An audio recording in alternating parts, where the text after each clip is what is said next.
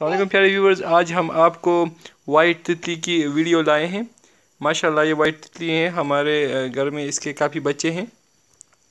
ये आम, ये हमारे साथ आदि हो गया है। हमारे ऊपर ये बैठता है। इसका डर बिल्कुल नहीं है।